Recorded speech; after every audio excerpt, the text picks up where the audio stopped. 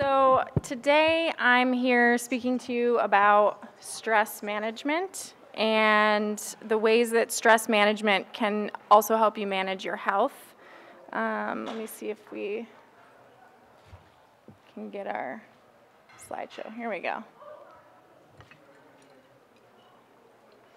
So first, I just kind of want to tell you a little bit about myself and why I'm here speaking to you about stress management, in particular, um, stress management in relation to managing chronic illness. Uh, I'm a licensed clinical social worker and life coach. I have a background in, in clinical interpersonal practice, psychology, and sociology. And interpersonal practice, essentially, uh, we aim to restore, maintain, and promote social functioning relating to people and how they interact with their environment. And of course, psychology is the study of the human mind and how it affects our emotions and our behavior. And sociology is the study of social problems. And in social work, we aim at alleviating the conditions of any person who needs help or support. And so I think it's kind of ironic sometimes how I had all of this training and then I got sick and it kind of has helped prepare me for being sick really well. And so I was diagnosed with lupus, rheumatoid arthritis, fibromyalgia, endometriosis, and a host of other things while I was in grad school with um, getting my master's in social work. And I had no frame of reference for any of this. I did not know what to do with any of the information that I got. Um, and I kind of experienced crisis. I tried to seek out the support of therapists, only to find out that nobody really understood what I was going through, and they did not know how to help me. Uh, so, of course, through this realization, I decided maybe this is something that I could do to help other people when I get to a place where I can help other people. And so that is why I'm doing what I'm doing now. So everything that I talk about in my presentations, um, I, I've been through it, and a lot of these stress management techniques are what has helped me. And I have two businesses, and it's the only reason I'm able to be up here today speaking to you because it's helped me so much. So of course, this is kind of like my street cred in the chronic illness world, right? My, my worst moments. Um, in 2017, I decided I was going to do the Women's March. And of course, the first part of the Women's March is standing in the sun waiting to march. and at this point, I was still kind of trying to live the same life that I used to live before I got sick, even though with lupus, you're not supposed to be in the sun. And of course, um, Five days later, I was in bed, unable to move, and another five days later, I decided, okay, I need to go in and had to go to the emergency room and get prednisone intravenously, which was a really kind of humbling wake up experience that I needed to make some changes and readjust my life. And I think a lot of us go through that at some point. And um, that's when I think the major shift happened for me. So, a lot of these these things. Um, if they sound like you, they could be signs that you might be under a significant amount of stress. Um, if you feel nervous, anxious, or stressed all the time, if you would describe that that's how you feel. If you feel like things never go your way or you just can't handle all the things that you should be able to handle. If you feel like you're not confident in your ability to man- manage stressful situations or events. And if something happens to you, do you tend to get emotionally wrapped up in the negative aspects of it, whether that's just any kind of negative outcome that could come up, the dangers involved, or any harm that might come to you? If you feel overwhelmed at the thought of planning your day, your tasks, or your to do lists, um, let alone planning for your future and bigger goals for yourself. If you have a hard time regulating your emotions, and, and I hear a lot that maybe people are familiar with relaxation strategies, but they don't know if they're really working for them or if they're doing them the right way, or maybe they only use them when they're really stressed out. Um, when someone asks you what your strengths are, maybe you're not sure if you have any worth mentioning. if you have a hard time letting go of things that bother you and maybe even get angry or frustrated easily, or even have a hard time enjoying your favorite activities. These are all telltale signs that you might be under a lot of stress. So before I get into the 10 ways, I kind of want to talk a little bit about some definitions, of what we mean by stress and what exactly it is. So when we are talking about stress, stress is uh, how our brain and our body work to respond to any type of demand that is placed on it. So we call these demands stressors, and it's anything that disrupts our internal balance where we have our balance in our body is called homeostasis, and our body is constantly seeking to regain that balance. So anything that requires change or adaptation on a physical level, emotional, psychological, or social, these things are what we would consider stress. And these can be good or bad events. So sometimes things that can cause us stress are not things we typically think of as stressful, like exercise or getting a new job or getting married or having kids. Um, so they include all of those experiences, and they also can include the negative stuff, traumatic events or experiences, um, loss, things like that. So there's two parts to any stressor. There's our psychological interpretation of that demand that it's placing on us, and then there's our body's response to it. So stress also is necessary. So there's a double-edged sword here. We actually need stress in order to survive, in order to get through some of the things that we need to get through. It pushes us, it motivates us. So stress is necessary, but it also can have a negative effect on our overall well-being. So normal everyday stress in healthy individuals is typically adaptive and it doesn't pose any health risks. But if stress becomes chronic and persistent and unchanging, especially if you're not already in good health, it can really have serious long-term effects for us. Um, and the amount of damage that it has is directly related to three factors. One is the types of stress that we experience. Two is how persistent it is in our lives. And three is our available resources and coping patterns and how we respond to those stressors. So we're really talking about stress versus distress. So it was really interesting because as I've been researching this, um, I'm also creating an online course for stress management because it's been so impactful for me and so impactful for many of my clients um, I'm like asking myself, you know, what exactly does stress do to our body? And as I'm researching this and I'm listing all these things on the slide, I'm like, holy moly, I don't have room for them all. they, it literally affects every organ system in our body. And I don't think that we really realize how detrimental it is to us. So just some statistics. Um, in the US, the amount of people that regularly experience psychological symptoms caused by stress is 73%. 48% uh, of us feel like our stress has increased over the past five years, right? So it's not getting any better. Um, money and work are the leading cause of stress for 76% of us. And about half of Americans lie awake at night due to stress we have 48% uh, of us say that stress has a negative impact on their personal and professional life. 54% of us say that stress has caused them to fight with the people close to them. And 30% of us say they're always under stress at work. And then when it comes to the physical symptoms, which of course we have many here, but the top three that people experience are fatigue, headache, and upset stomach. And I think when we think about the physical manifestations of stress, those tend to be the things we think of first. And psychological symptoms, the most common top three for psychological symptoms of stress are irritability or anger, feeling nervous, and lack of energy or fatigue.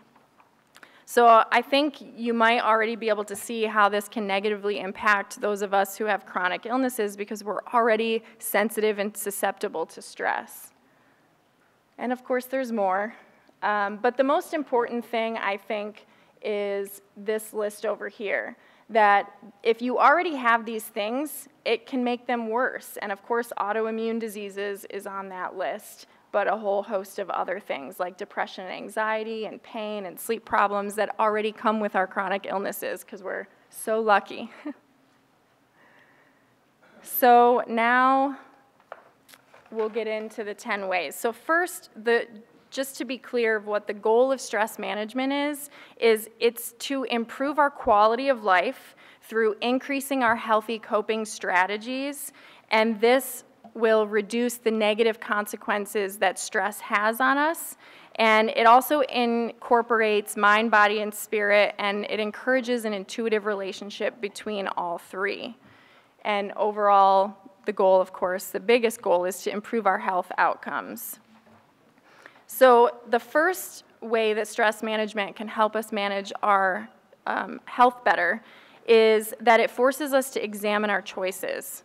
So the biggest determinant in whether or not we're going to experience distress, which is the negative aspects of stress, is how we perceive and choose to respond to the stressful event.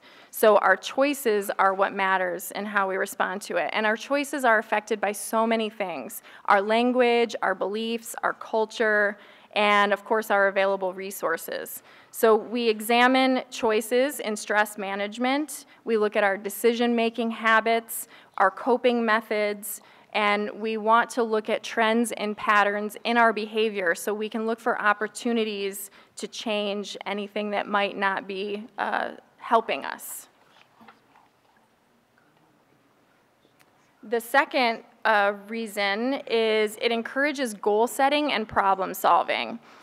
So when we look at coping, we typically have two categories, emotion-focused coping and problem-focused coping. And we know that any kind of coping response that is more action-oriented and engaged is much better outcome-wise for our health. So goal setting and problem solving helps build confidence and experience, and both of these things increase a thing called self-efficacy. Self-efficacy is essentially the confidence that we have in completing any task and doing it well.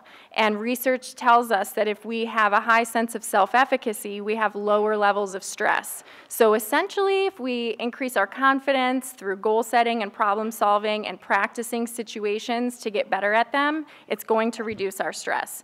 So this includes learning how to make planned choices, self-monitoring so you can notice how you're making those choices, and habituating, which is essentially unlearning of unhelpful responses. And we do this as situations come up, all which reduce stress. It encourages action and a focus on solutions rather than what sometimes we do, which is ruminate on the problem. And when we ruminate, which is essentially overanalyzing the problem, that can lead us down a spiral towards depression. And we definitely don't want that. So the next is it places our basic needs as top priority. And as I was looking at this last night, I thought, man, I should have flipped the triangle upside down so physiological needs is at the top because my therapy clients will probably um, they they tend to not like this but I they come in and the first thing I ask them is how are you meeting your basic needs? You know, are you sleeping well? Are you eating well? And they kind of roll their eyes. But, but this is the most important thing because these are the things that tend to go first when we're under a lot of stress. So if someone says they're not eating well, they're not sleeping well, that's a, a red flag to me that they're under stress that week. So when we're in distress, our basic needs go first, and we also tend to replace these with unhealthy behaviors, things like overeating food maybe that isn't so healthy for us, smoking, drinking alcohol, things like that. Even not being as active, you know, sitting around and watching TV more than we should. Um, but when we prioritize our basic needs, this is our foundation that we have for managing stress. It makes us more resilient because our body is in a better position to regain balance if we are meeting our basic needs. So these are always things that I check on first. And I do it for myself too. Number four, it forces you to examine your social support system.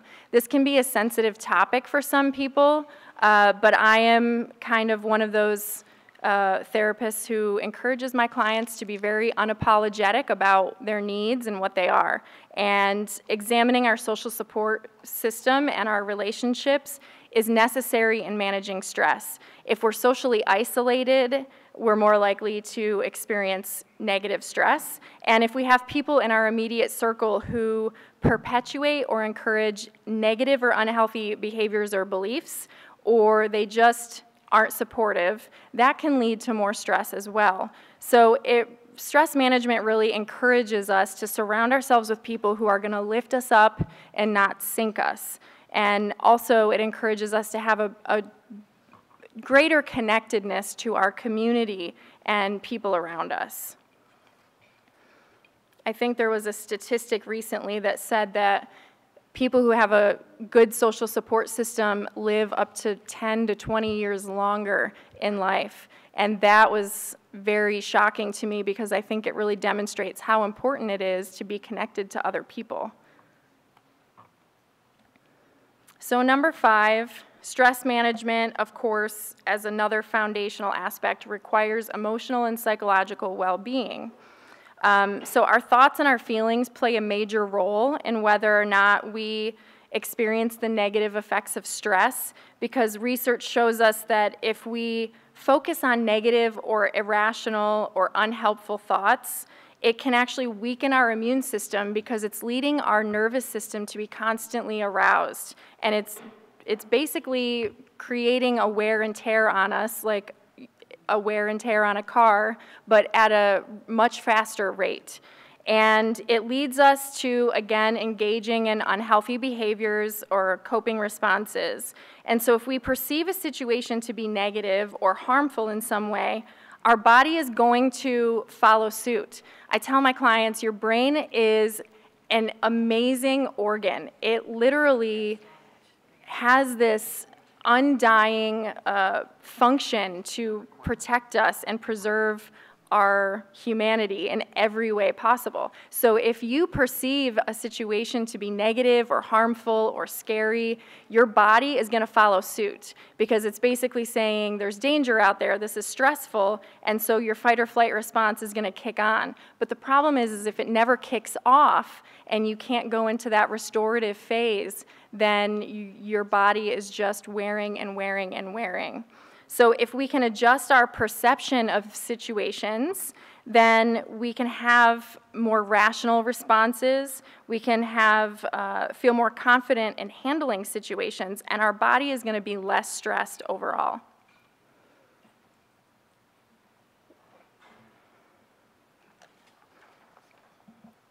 So number six, of course, um, and this I think affects all of these, is stress management requires what I call radical self-awareness. And self-awareness, if you can't see in this little box, I think this is a great definition for it. It's the ability to take an honest look at our lives without attachment to it being right or wrong. So I tell people nothing we do is inherently right or wrong. It's how we judge it that makes it so. And if we can develop a self awareness where we can objectively look at our behavior, our thoughts, our feelings, then we can really make changes necessary to benefit our health. And self awareness helps people recognize stress, how they're responding to it. It helps them see where they might be perpetuating any kind of unhelpful coping responses so that it gives us that opportunity to take control and change it. And we also become more aware of our thoughts and feelings and this, again, allowing us the opportunity to change it increases our sense of self-efficacy so we feel more confident in how we handle things. And again, this reduces stress. Number seven, it makes us prioritize. This is a tough one I think, as well, because, um, and I've already had a couple conversations today about the impacts of work. I think that, um, and I remember growing up, I started working at the age of 14, and at every job, I heard the same thing this job comes first. And I think that one of the shifts I had to make was that no, work does not come first. My body comes first, my health comes first. And that's a huge shift for some people to make. But what I tell people is to think of stress management like an act of balancing scales. And um, I have on my printout, but it's not on this one. I must have added this later. I have a picture of scales here, but if you can imagine the scales, right? If you've got stress on one side and it's weighing it down, we only have two options. We can either add something restorative to this side to balance it out, or we can remove things from the stress plate to balance it out. Those are the only two options that we have. So we prioritize self care. The things that I encourage my clients to add on the other side are self care behaviors. So things like uh, doing things that you enjoy, relaxation strategies, taking walks in nature because nature's proven to reduce stress. Anything that helps fill your cup uh, is considered self care. But we want to also get rid of anything that is unnecessary, unhelpful, unhealthy, anything that we can get rid of that isn't absolutely necessary to our survival. We want to kind of weed out and prioritize the good stuff. So, number eight, stress management teaches you to be selfish. I encourage my clients to be selfish. I tell them, again, to have a kind of sorry, not sorry attitude about their needs. And it, just like the picture says, we can't pour from an empty cup. And of course, I'm sure you've heard the you can't put you have to put your oxygen mask on first before you help other people on the plane, right? You have to help yourself first before you can add anything to the world. And I think that stress management definitely prioritizes this. And so, if you think about it, a lot of the things I've already talked about today are focusing on ourself, our internal states, how we respond to things, what's going on in our mind and body. And so, it really encourages putting us in the driver's seat, which makes us more confident in how we're able to handle anything that comes up.